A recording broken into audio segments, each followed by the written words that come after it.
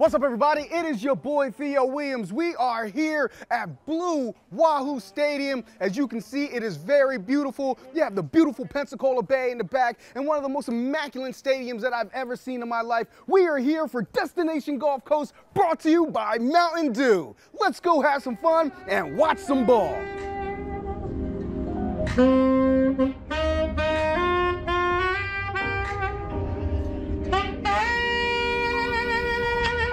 All right, guys, so right now I am here with Donna Kirby. She is the VP of Fan Experience here with the Blue Wahoos. Thank you for joining us here. Thank you for having me. This is exciting. We all know one thing minor league baseball, and particularly the Blue Wahoos, do very well Yes. is give a great fan experience. We it is all about our fans. what are some of the awesome things, other than the baseball game itself, that fans can come and enjoy and partake here at the Blue Wahoo Stadium? Well, number one, our food. You cannot beat our food. I don't know if you guys have had a minute since you've been here to check it out, but our food, our chef does incredible stuff there. So what we got here is the uh, world famous Crabzilla. It is five layers of crab mixed in with a little bit of love. Crab mayo on the bottom, soft shell crab, crab mac and cheese, a little bit of bacon, some fried shrimp, topped with a crab hush puppy, and then some crab fries. So please enjoy. I'm so excited right now. I literally can't wait.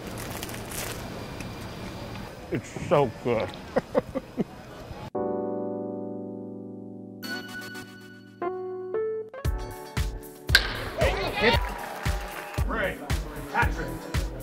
You'll never feel blue here at this beautiful park. Instead, you'll just want to say, Talking to you. Wahoos! Go Wahoos!